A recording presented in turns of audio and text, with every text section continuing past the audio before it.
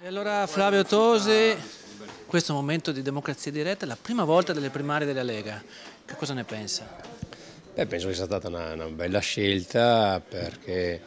è un momento che è stato difficile nel passato per il movimento gli ultimi mesi con gli scandali, insomma una serie di situazioni negative. Con eh, la rinascita grazie a Bobo Maroni e quindi al nuovo corso, un nuovo corso che mi auguro che proseguirà con Matteo Salvini. Eh,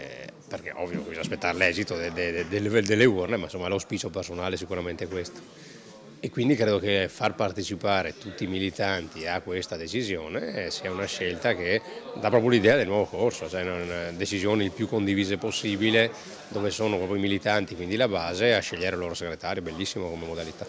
Senta, grandi, grandi, cose aspettano questo nuovo segretario federale, eh, grandi difficoltà, grandi decisioni. Sì, eh, la Lega ha il margine per ritornare a recuperare quello che abbiamo perso in termini di consenso, perché le idee sono ancora quelle, sono valide, le persone anche. Eh, l'elettorato leghista non è andato a votare altro, non è andato a votare per il PD, il PDL o Grillo, una parte Grillo eh, e tanti non sono andati a votare.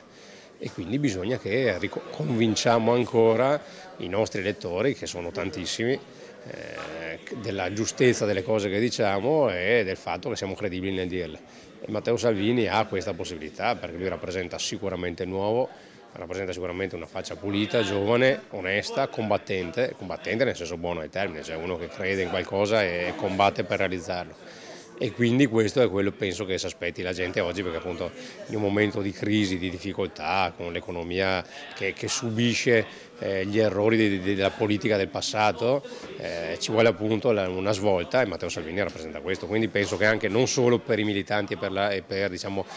il, la base eh, storica, ma soprattutto per chi vogliamo andare a riconquistare sia il messaggio giusto.